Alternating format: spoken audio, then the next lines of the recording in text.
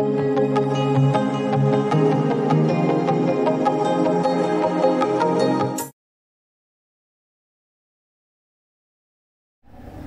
number 35 is related to a famous model that is called CAPM model, Capital Asset Pricing Model Problems.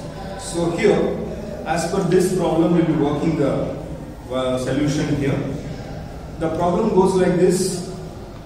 B Enterprises has a beta of 1.5. The risk-free rate is 7% and the expected rate of return on the market portfolio is uh, 14%. The company presently pay a dividend of rupees 2.50 per share and the investor expects a growth in dividend of 12% per annum for many years to come.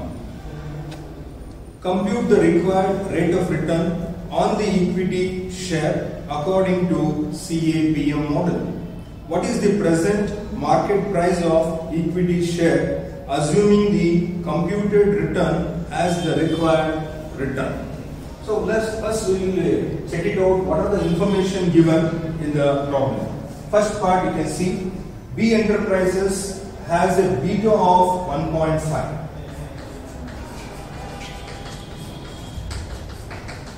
beta of 1.5. Next, the risk-free rate is 7%.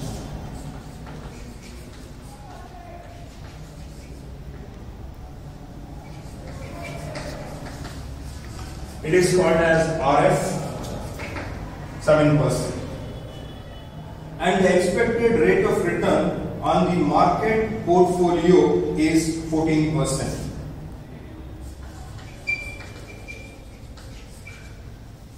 return on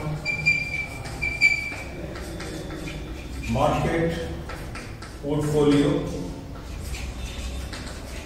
we name it as RM 14%. Next paragraph you have the company presently pay a dividend of rupees 2 rupees 50 paisa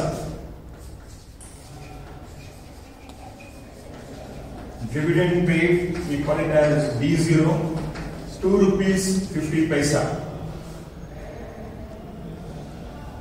and the investor expects a growth in dividend of 12% per annum that is called as growth rate this comes under dividend policy in financial management so that is G is equal to 12%. So these are the information given in the problem. So we have to go for the calculation. So what is the question therein is compute the required rate of return on the equity according to CAPM model. So according to that security market line formula we can use for a single uh, portfolio. It is called as SML single or security market line. We call it as RI also. Let me substitute the values here. RF 7 beta 1.5 RM is equal to 14 RF is again 7 so we have to go for uh, simplification here. 7 plus 1.5 into 7. So 7 plus 1.5 into 7 that comes to 10.5. So Ri is equal to 17.5 percent or if it is in decimals 0.175. So this will be used for calculation of the present market price. So this is the value of uh, return based on SML formula of CAPM model. Coming to the present market price. Present market price is denoted as P0 that is equal to D0 plus uh, D0 into 1 plus D divided by Ri minus D. So Ri is nothing but the rate of uh, return therein. So I have here D0 as I told this is based on dividend theory. 2.5 into 1 plus G. G is given as 12%. I can simplify this into 0.12 for the calculation. It becomes easier.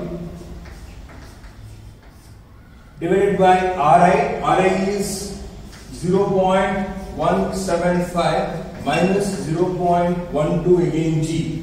So if you simplify here further, so 1 plus 0.12 into 2.5 that is going to give 2.8 as the answer.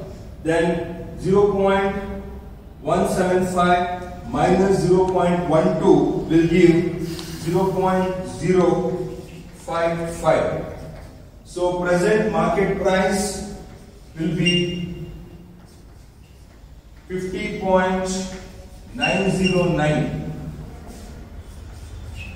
So the equity share value at present in the market is 50 rupees 90 paisa. I can approximate 50 rupees 91 paisa as per the CAPM model.